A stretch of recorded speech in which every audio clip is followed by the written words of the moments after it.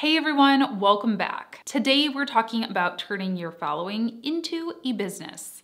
I know a lot of you have been working hard to grow your following on social media, maybe Instagram, TikTok, YouTube, or somewhere else, but now I wanna talk about how to actually make money from that hard work. Today's video is brought to you by Milkshake, a fantastic free app that allows you to create a stunning, mobile-friendly website in just minutes.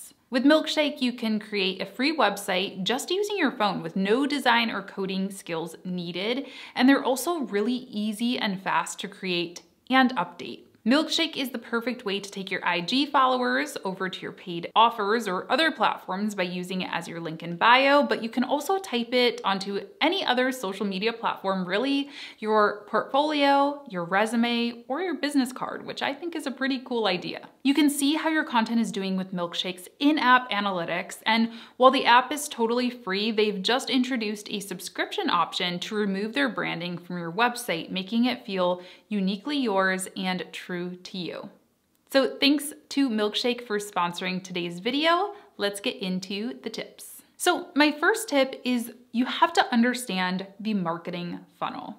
The marketing funnel is kind of the process that most of your customers or potential customers are gonna go through before they actually go ahead and purchase. So it's like an upside down triangle. People start at the awareness stage, they move down to the consideration phase, and then finally into the conversion phase. Awareness means they found you, right? Some of you are probably in the awareness stage. If you just clicked on this video, you have no idea who I am, you're entering the awareness phase. You're getting to know who I am. Hey, by the way, I'm Latasha. Please subscribe. Follow me on Instagram if you want to. For those of you that have been coming back regularly, you're subscribed. Thank you. Turn on the bell. You know, you are in the consideration phase. You're taking in the information that I'm sharing. You maybe have heard about one of my paid offers a couple of times. Maybe you've went to the website, thought about it, or maybe it's not right for you right now, but you still are building up that relationship with me. And when the time does come, hopefully I will at least be you know, an option for you.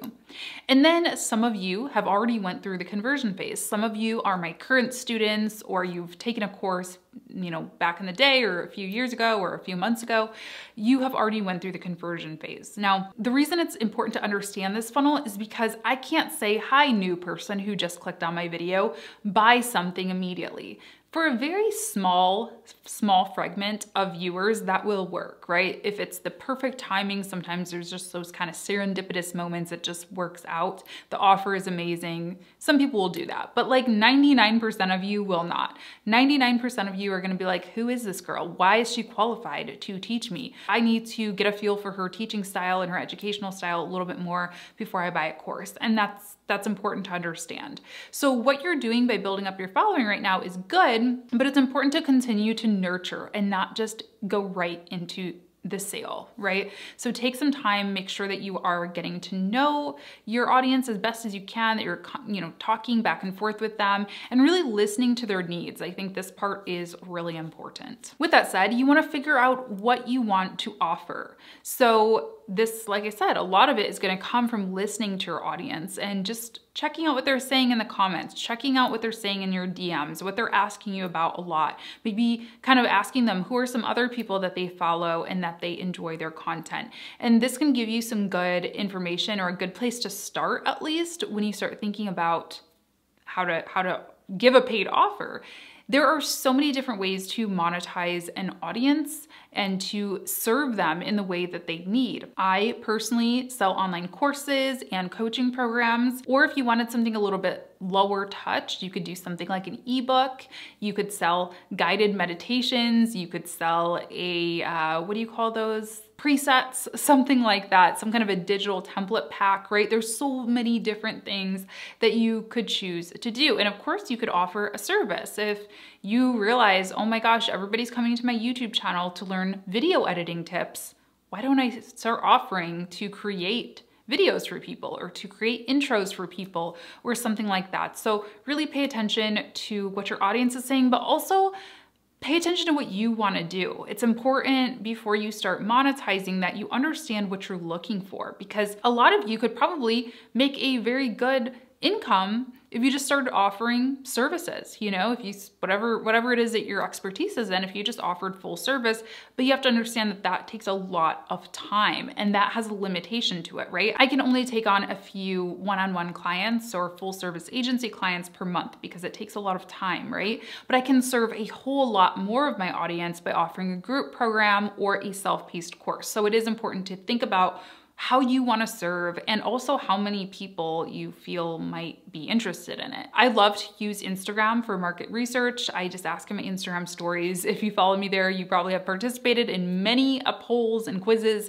And I just like to get a gauge for where everyone's at and like what people are enjoying. Do you guys like events? Do you guys like ebooks? Do you like courses? Do you like this? Do you like that? When do you want to take a course? In the summer, the fall, the winter? You know, use those things to your advantage. You can use a YouTube community tab and so on and so forth. Next thing that is really, really, really, really, really important, you want to build an email list.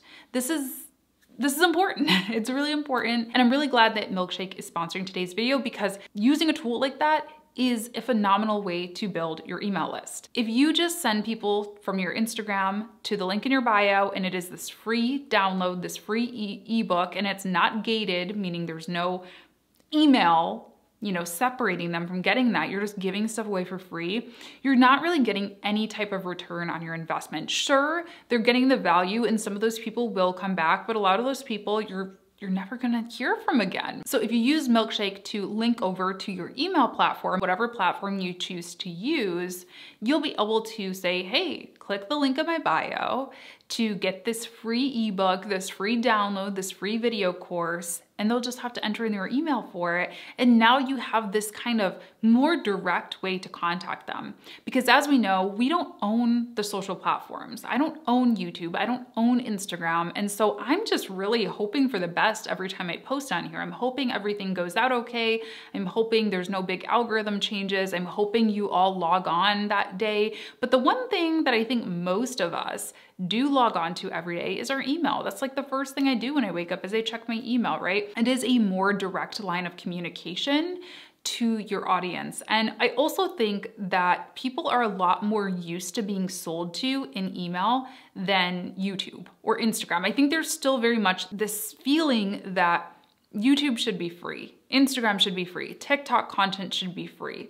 And, you know, creators, we can feel how we feel about it, but it, it is a free platform. There's a reason people are going to YouTube versus cable or TikTok versus the movies or whatever, right? Anyway, I think that it's a little bit easier to sell to people and to start building out that sales funnel on email versus through YouTube, hoping you all stop by my channel that day. The next thing that you're gonna wanna do is test your offer. So let's say that you decided you are a style consultant, you're a fashion consultant, you, you uh, help people shop, personal shopper. I think those are technically five different jobs that I just railed off, but let's say you're a personal shopper and you want to create a self-paced course for people who are looking to improve their style. So let's say it's a shopping list. Let's say it's just shopping list, a staple shopping list. Here are five pieces every person should invest in a pair of black boots, a nice blazer, a good pair of jeans, you know, good undergarments, whatever. So you create that guide, you get a bunch of people who have been following you to download that so you have their email. So now what you should do is send out an email blast of a kind of mini version or a beta version of the long-term offer that you want to provide. So we said it's going to be a course.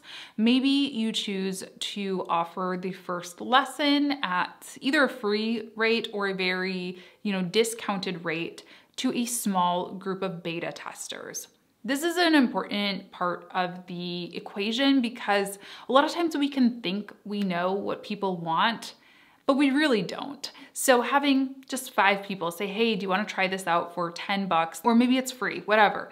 Um, get people, ask them to take a survey afterwards and give you feedback before you start building out the rest of your course and pitching it at a rate that maybe isn't realistic for people. For pricing questions, I like to use this method. It's called the Van Westendorp method. I'm sorry if I'm not saying that word properly or that name properly, but basically it's if you've ever taken a survey and it says, you know, at what rate would this price be too high for you to consider? At what rate would this look too cheap and look like the value isn't good? And that really allows kind of a free flowing method of communication. So your survey people, your beta testers, can kind of be free to really think from their heads and not be choosing from this pre-arranged set of prices. So anyway, that's what I would do. And then from there, you have your beta test. Now, this beta test might look different for every service, right? Maybe you offer coaching, you're doing like a three month coaching program, a year long coaching program, whatever, and you decide to do one off calls for your sort of beta test. That's what I did for a long time before I started doing ongoing coaching. I just did like one off calls that were really, really affordable. And I really used that to get my coaching hours in and to hear from my clients and hear what they were coming to me about so I could build out a more robust program for them. So do that. And then once you do that, you get your data, keep doing research, do market research, doing a market analysis. Then you're gonna want to just scale that program. So you've got your survey results, you know the pricing that people said that they would pay for it, you understand what their pain points are, what they're looking for in the course, just start building it out. You'll also want to, you know, continue to use that as a content pillar, you know, continue to build that email list while you're building out your program, while you're building out your full book while you're doing whatever it is that you're doing, you wanna continue driving people to that email list and maybe even offering some other freebies or other lead magnets to get people into that funnel. So that's how I've really been able to take my social following, predominantly on YouTube, but also some on Instagram, and get them over to an email list where I can then sell to them. I hope this video was helpful. And again, I wanna thank Milkshake, today's sponsor, for partnering on this video. You can download the app for free. I will have a link down in the description box. It's a great platform to create that website for yourself so that you have somewhere for people to go. And even if you didn't want to use it to build an email list, if you are currently working as a coach or a service provider or a course creator or whatever it is that you're doing, you need a place for people to go at the link in your bio that showcases all of those different great offers that you have. So this is a fantastic option for you. So thanks again for watching. I hope it was helpful thumbs up the video. If it was, comment down below, and I will talk to you in my next one. Bye.